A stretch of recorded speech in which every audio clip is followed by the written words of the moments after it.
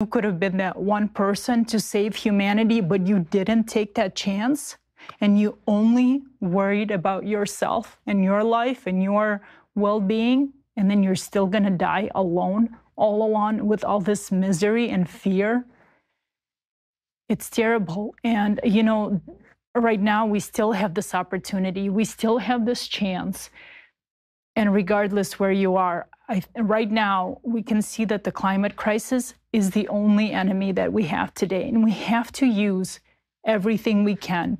Social media, while we still have the internet, because we don't know how long we will have it, talk to our friends, neighbor, any kind of opportunity we have to share this information, any resources we have to share this information, we understand that we have to use it because sooner or later we won't have this opportunity and we won't be able to relay this information and then it'll be just be too late and we won't be able to save anybody.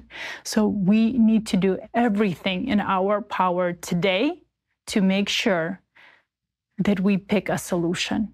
And we presented two solutions today, and we need to choose one of them to save humanity and our children. After watching this short film, I realized that I'm not doing enough. Even though you guys know that we all sit here and we volunteer our time every single day. There's not a day that goes by that we don't talk about creative society. We don't reach out to people about creative society, but I'm still not doing enough.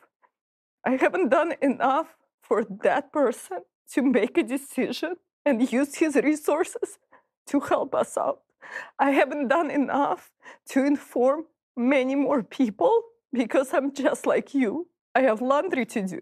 I have to go to work. I have to pick up my kids from soccer and gymnastics and drop them off. I'm doing all those tasks that do not matter. They just don't.